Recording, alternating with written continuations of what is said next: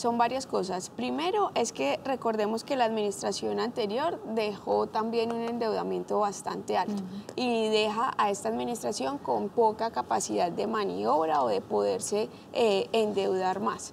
Eh, entonces, pues eso es uno de los, no temas. comprar más buses eléctricos y endeudarnos con, por el lado. con decirles que se podrá endeudar o lo que se tiene previsto según el marco fiscal de mediano plazo es que podrá adquirir deuda eh, por un poco más de 400 mil millones, pero le toca pagar más de un billón en servicio de la deuda. Entonces, es más lo que tiene que pagar que lo que, si uno hace ese cruce, que lo que efectivamente puede endeudarse.